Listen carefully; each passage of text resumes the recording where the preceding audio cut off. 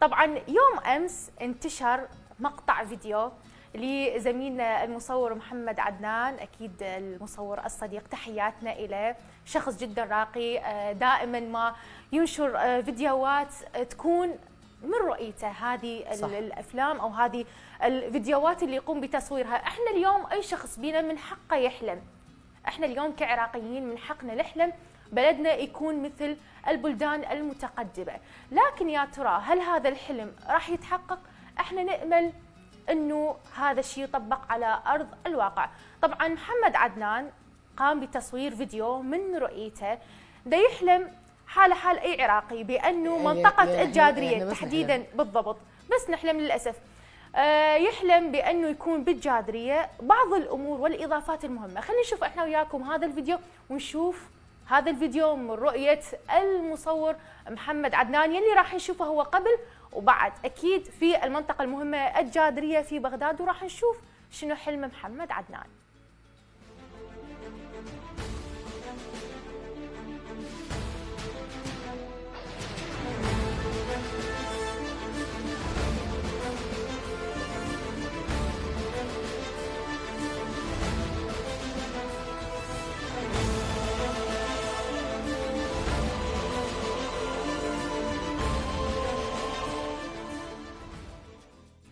طبعا مشاهدينا الكرام هذا الفيديو بمنطقة الجادري في بغداد تحديدا شفنا قبل.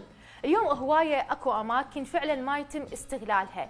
فبما إنه شفنا هذا الفيديو بتصوير محمد عدنان اللي هو قبل خلينا نشوف أيضا من تصوير ورؤية محمد عدنان البعد.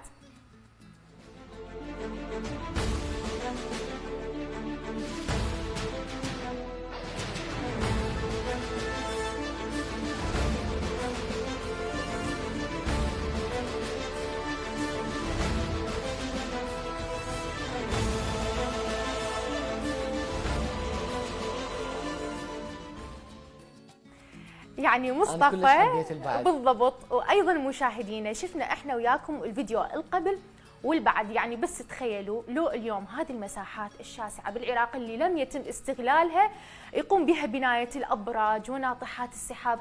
بس تخيلوا منظر بغداد شلون راح يكون وإحنا مو فقط نقول بالعاصمة بغداد نتمنى بكل محافظاتنا العراقية حالنا حال الدول المتقدمة.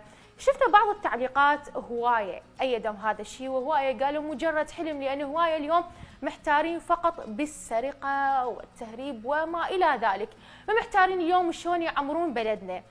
بعض التعليقات دي يقولون إنه هذه الأبراج وحتى ناطحات السحاب هي مجرد آه، تصميم. فني آه، جمالي تجاري ما راح يضيف شيء لنا اليوم إحنا محتاجين للأماكن الخدمية.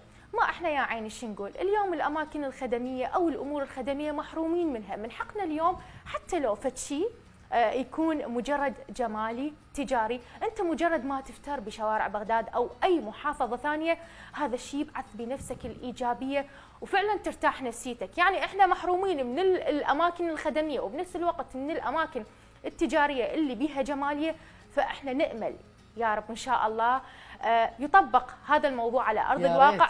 وتتحقق رؤية آه، زميلنا المصور محمد عدنان. تحياتنا له